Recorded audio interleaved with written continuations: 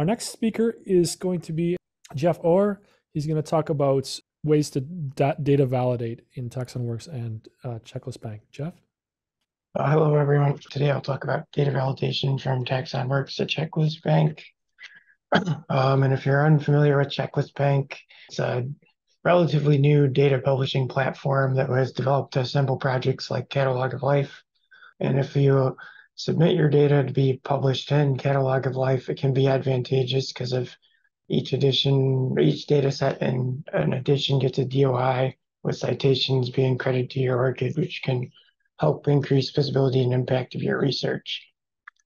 So in order to get into Catalog of Life, you'd have to use the Catalog of Life um, export task and basically you can export at any level in your project. So you select the OTU that you export at, and then that's going to generate a download, which you'll be able to import into Checklist Bank, skipping the step of registering your data and of course entering your metadata, which is very important.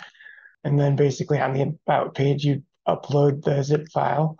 And then once it's imported, uh, you can go to the issues page, um, which basically gives you kind of the checklist bank equivalent of soft validation and hard validation in TaxonWorks. So you basically get an overview of potential data quality issues with um, your data. And if you basically kind of hover over each task, you can get the definition of what the data quality issue is. And then you can look at the reports. So like there's the verbatim data view, which you'd be able to view by clicking on these links, which shows you exactly your data as it um, came into Checklist Bank. And then um, on this side, if you click these links, it shows you search results tagged with the data quality issue.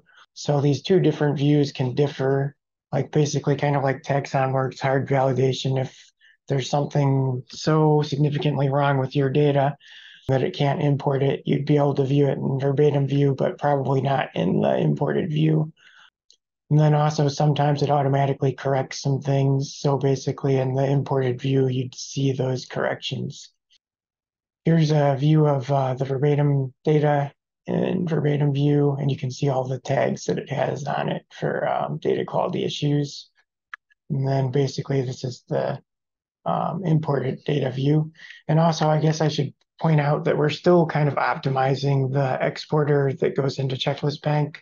Uh, some of the concepts, some of the concepts don't map one to one when you're going between platforms. So some issues we're still basically working on improving.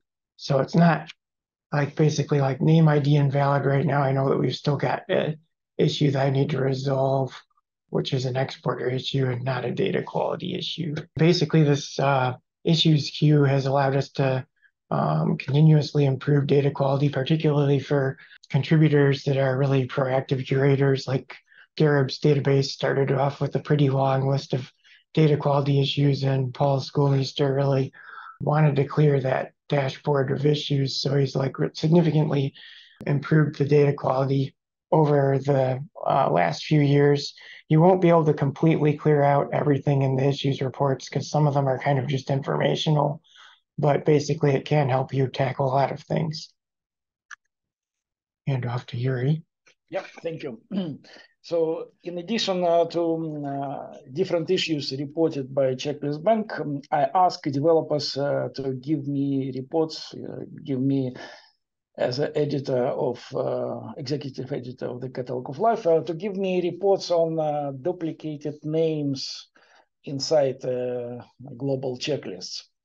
Uh, and through my uh, practice of working on the catalog of life assembling different global checklists from different data providers I realized that um, duplicate reports on duplicated duplicates are extremely helpful to find uh, whether the same taxon mentioned just once uh, in uh, the catalog of life or split uh, between uh, different conflicting classification and so on. But also such reports are extremely nice for uh, checking data integrity inside global checklists. Jeff, next, please. Slide. Yeah. so uh, uh, those reports uh, help me to catch neglected duplication of taxa in different branches. Uh, and we are analyzing identical species names, subspecies names, uh, identical um, ge uh, generic names, and so on.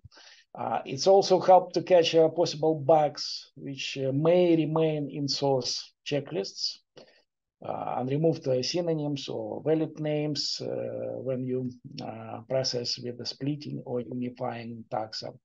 It's also help to catch bugs in conversion scripts, which Jeff mentioned. And finally, it's helped uh, us uh, to flag uh, homonyms and proper synonyms in the catalog of life. we have nine classes of reports on duplicated species names for binomials and three of them are most helpful and usually we are sharing them with data providers checking whether it's valid uh, case or something wrong in uh, source data sets. It's accepted uh, versus accepted species with the same author string accepted versus synonym uh, attached to different um, accepted name with the same author string or synonym and synonym versus synonym uh, uh, which are synonyms to different accepted name. and next slide. Yeah, and uh, here is just examples of uh, reports uh, which we get from Checklist Bank, and we are sharing these reports with our data providers, which help them to clean up their checklist and uh, or uh, ensure us that data are interpreted correctly in the catalog of life. So far, we have uh, 21 uh, global checklists from TaxonWorks in the catalog of life. Six of them uh, we are updating on monthly basis, and uh, I hope soon we will be able to update all 21 Taxon Work checklists in the catalog of life every month. That's all from me. Thank you.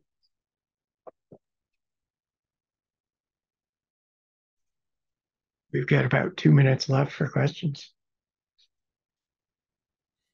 Thanks, Jeff and Yuri.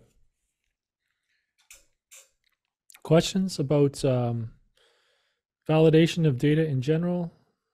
About um, maybe we could share a couple links, Jeff and Yuri, to Checklist Bank. Um, and maybe the Checklist Bank API in the uh, in the into the chat. And I don't know if we have that the export documented on docs.taxonworks.org. Um, if we do, we could we could point to the documentation for exporting the COL format. Thanks, Jeff, for those links. Questions about uh, validation? While you're thinking, I know talking makes it hard to think, but um, in TaxonWorks, as you heard, we have, I think it's close to three or 400 validations on nomenclature that are looking at the all the codes of nomenclature um, and trying to provide those validations. But when you compile data, as you're doing for Catalog of Life, you have a whole new suite of problems because you're cross code, for example. And um, really, these two products are very synergistic, right? The Checklist Bank validation and uh, TaxonWorks uh, validation they act uh, i think they act together um, well. So um, we encourage it's it's really nice to see these different levels of validation and these different levels of um, sort of inspection on data. I keep coming back to thinking about jen's uh, wiki wiki examples of how data get cleaned up as well at different levels and at different sites